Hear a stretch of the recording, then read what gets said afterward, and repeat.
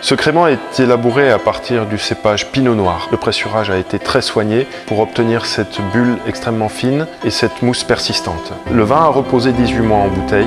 Il présente une très grande fraîcheur aromatique avec des notes de fruits rouges, une acidité croquante, un vin qui se prête parfaitement aux apéritifs. Nous avons élaboré ces vins avec euh, beaucoup d'exigence et beaucoup de passion pour que vous puissiez en profiter pleinement et euh, déguster ces vins avec grand plaisir entre amis ou en famille.